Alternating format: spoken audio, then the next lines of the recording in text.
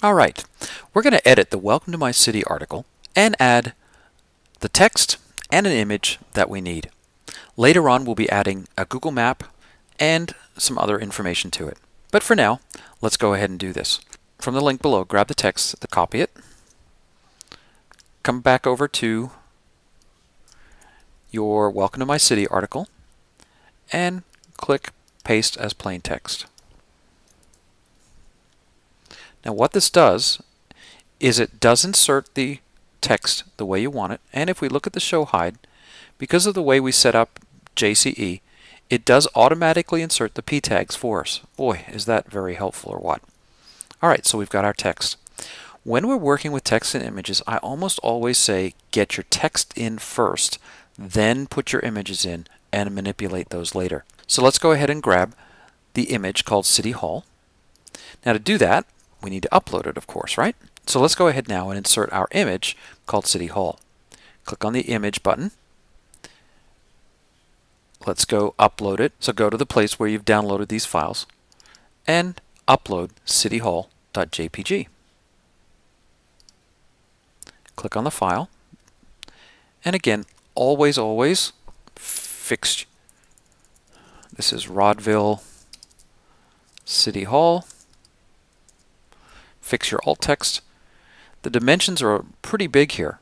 And actually, we would want to either one, resize that with the other upload button, or resize it before we upload it because an 1100 pixel image is way too big.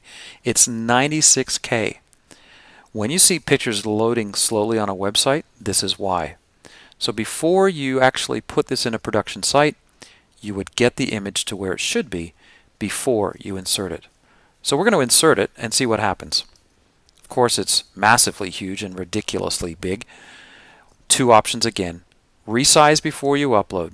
Because this is localhost and we're not too worried about speed, we can just grab it and resize it to whatever size we want.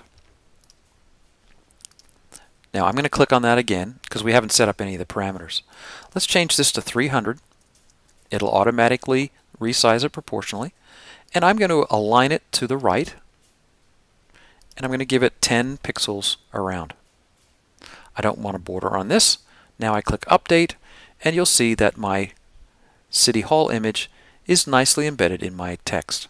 It's still a little big so I can click on it and I can make that 250 pixels. Click update.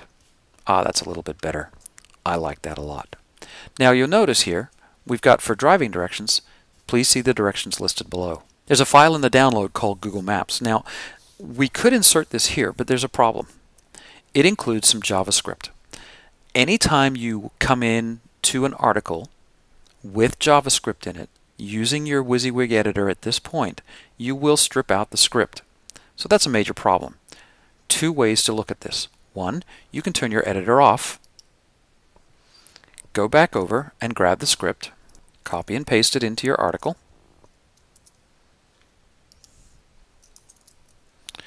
And now if I hit save,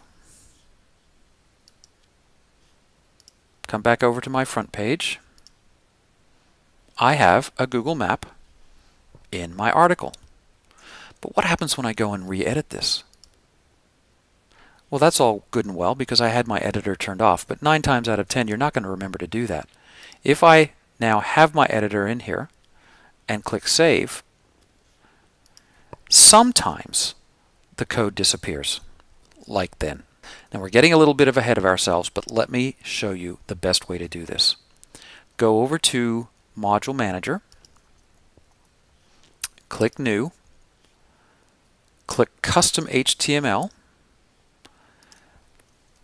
and I'm going to give it a title, which we're not going to show. Now this is the key thing. We're going to define a new position that isn't called by our template. And we're going to call that position into our article, which I'll show you in just a moment. It's important that this name not be called anywhere in your template. So we're going to call going to call this Google Map. We know that that's not included anywhere. And I can just type that in, and now that's automatically added to my Joomla workflow. I'm going to turn off the Show Hide button and I'm going to insert that code for my Joomla map. I'm going to leave it set to all menus and I'm going to click Save. Go back over to my article, click on Welcome to my city, and now I'm going to, in the WYSIWYG editor, do curly bracket, which is shift square bracket up on the right hand side of your keyboard, the word load position, space, and then the position name, Google Map, right curly bracket. Now it doesn't matter if I come into this with my editor turned on or off. When I hit save and reload, my map is there. This is a really important feature of Joomla, where I can load a module into an article using the load position, and it doesn't strip out the code. So, fantastic lesson. We're going to use this a lot as we go through. So that's the end of task number one.